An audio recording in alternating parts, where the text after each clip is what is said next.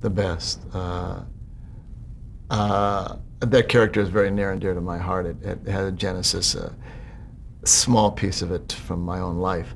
Uh, but uh, Bob was just wonderful. We had a real tough time finding an actor to play that because we had high hopes for it and uh, for the part. And uh, and Jay Sandrich had gone to New York and put some actors on tape for us, and Bob was one of them. After we had been to New York before, a couple of us, I don't remember who, me, me and Paul maybe, and uh, come back with people and.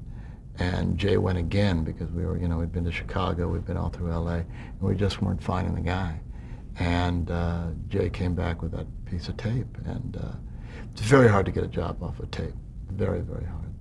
And uh, he had it. He had. Uh, there were, you know, all throughout the audition, because it's never perfect on those silly auditions on tape, but there were glimmers, and you could see, oh, he's going to be.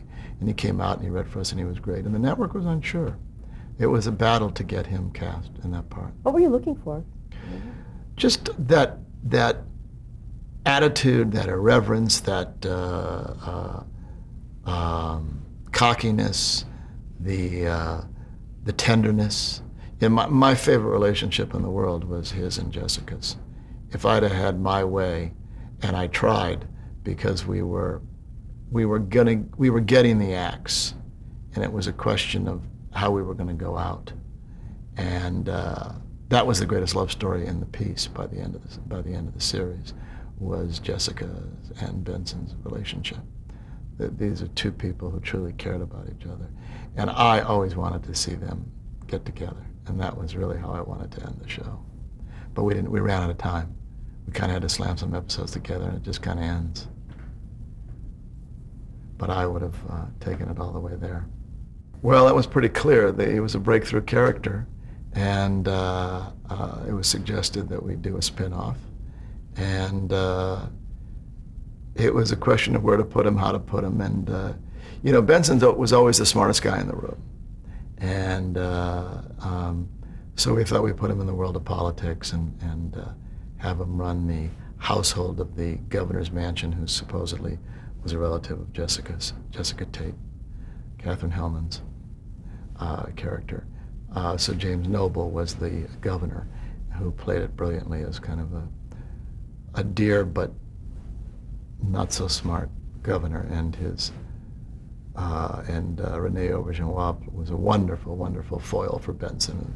Pompous fellow took himself way too seriously, and and Inga Swenson was just killer, killer funny as the as the Teutonic uh, housekeeper.